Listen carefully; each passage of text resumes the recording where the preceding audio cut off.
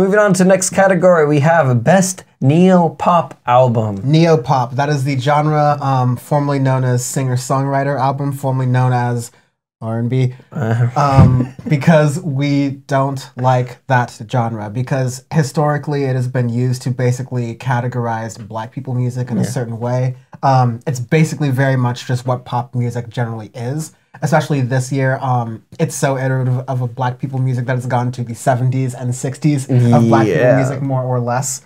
Um, that being said, with this neo pop sort of genre that we're doing, there was a lot that came out this year that was really interesting. You had Chilombo by Jhené Aiko. You had The Ungodly Hour by Chloe and Halle. You had After Hours by The Weeknd. It Is What It Is by Thundercat and Durand by Durand Bernarr. All interesting albums in their Very own good. Right. Yeah. Um, I know Chilombo with uh, Jhené Aiko is probably the one I listen to the most, uh, other, uh, other than After Hours, and it's something that going into I don't know what kind. I kind of like was expecting one sound, but then got something that was so much more put together than I thought. You had BS featuring H.E.R. that I've listened to so much, and as a bar of flexing on my ex in my Model X, like that's always Yeah. gonna go hard.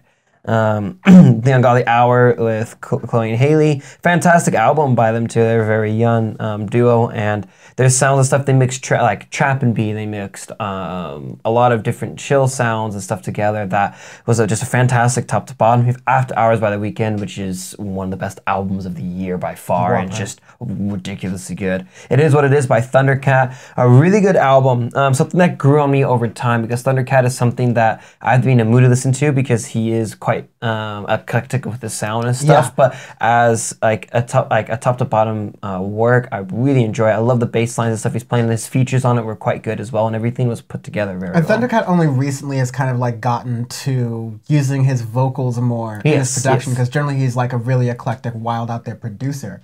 But um, in doing this, it is just like an absolute banger of a track. and then Um, banger of an album. I mean. banger of an Um, album. As far as tracks go, I just got to shout out uh, Black Qualls, which is just like kind of this amazing, um, featuring Steve Lacy and Steve Arrington and Yes. Gambino. and Gambino. It's this amazing, good. almost like um, what what is it? Black Messiah. That album, I forget who it was by D'Angelo. That's the word it is. It's a really nice uh, funk groove thing, and then Dragonball Durag. I look kind of fly next to you, baby girl. Just absolutely amazing. Um. Anyways, we And then you have, have Durand by Durand Bernarr, um, one of my court packing picks.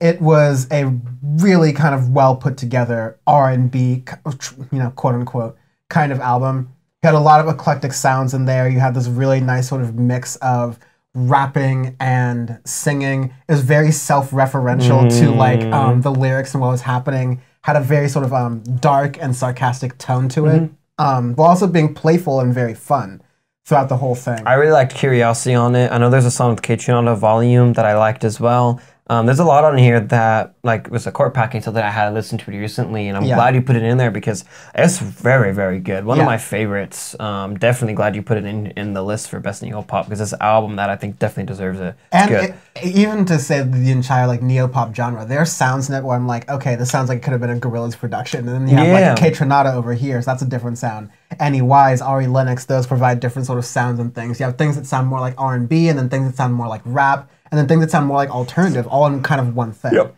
It's really kind of incredible mix. But of course, we've got to pick one, maybe two as like a runner up here. Um, I have a guess of what your what, number what, one is. what would mine be? Um, are you gonna give it to the Weeknd? Nope. Wow. Okay. I'm gonna give it to uh, Jhené Aiko. Chilombo. Wow. It's the one I listen like after the Weeknd. It is the one I've listened to the most, and it is an album that I am very, very impressed by. Something that I'm not a big fan of a lot of features in albums. I tend not to be, but all of the features in her album are ridiculously good, and everything flows together, which is very hard to do, especially in that like neo pop genre, because everybody kind of usually features they they tug a little too much within their own sound a lot of times and distract from their that from the other works but it's so good and i listen to bs on repeat so many times love that track along with so many others I'll go with that, and I'm gonna put Durand um, by Durand. Bernarr as a runner-up, just Good because it has the production is so immaculate and how many different sounds it travels Yes. through. Um, the self-referential humor in it and tone in it are just really nice. Mm-hmm. There's a touch to it, and just into in addition to the lyrics in it are very Mm-hmm. nice. So yeah, that was a really nice year for this genre. Maybe we'll call it neopop going forward. Maybe Yeah. we'll change it around, but um, it's more representative of the genre than I think other things are, and it's for Yeah. fuck's sake not um R and B. Yes, R&B.